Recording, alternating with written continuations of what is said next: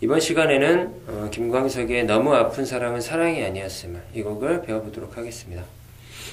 자, 나와 있는 코드는 G, D, E 마이너 9.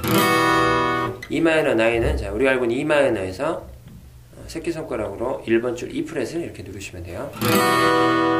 F 샵 음이죠. E 마이너에서는 2도 또는 9도가 되죠. 그래서 E 마이너 9이라고 우리가 읽곤 합니다. 자, 오른손 리듬은 이렇게 되죠. 보세요.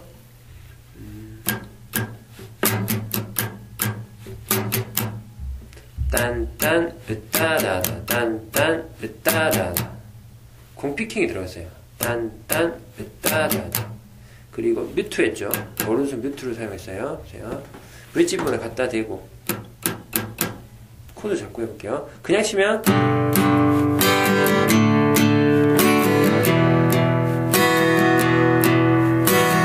이렇게 연주하셔도 되지만 좀더 음, 원곡의 느낌을 살리려면 오른손 mute를 사용해서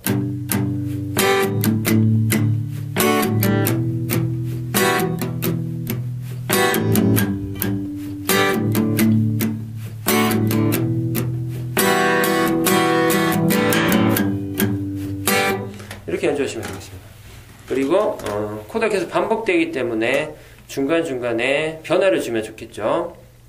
음, 왼손 코드는 G, D, E 마이너 9 E 마이너 9에서 다시 G로 넘어가죠. 이때 베이스 running을 음, 이렇게 살리는 거예요.